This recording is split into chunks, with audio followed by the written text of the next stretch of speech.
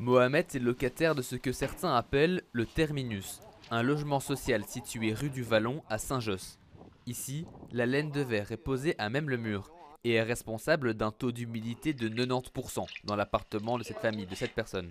J'ai essayé de contacter donc, le directeur des HPM, ben, malheureusement, il ne, veut pas intervenir. J'ai envoyé un recommandé et, voilà, je ne sais pas quoi faire. Donc moi, j'ai cinq enfants et sincèrement, euh, euh, la moitié sont malades. Euh, donc nous vivons dans une tombe, quoi. Un état des lieux réalisé par un bureau d'expertise indépendante a révélé que le logement est insalubre en l'état. La moisissure met en danger Mohamed et sa famille. J'attire votre attention sur le fait que lorsque ces moisissures persistent et se développent, ces champignons libèrent alors des spores, des spores et d'autres substances toxiques.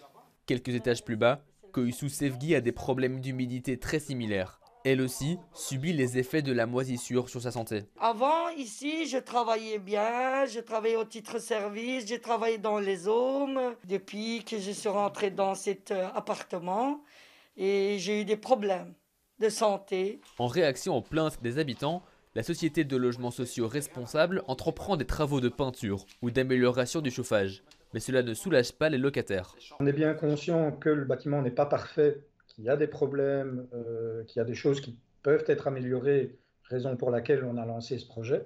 Mais en attendant, il faut faire avec. Et, la seule manière de faire avec, ben, c'est d'aérer régulièrement, de ventiler. L'immeuble de 144 logements sociaux vaut pour 17% du parc de Saint-Josse.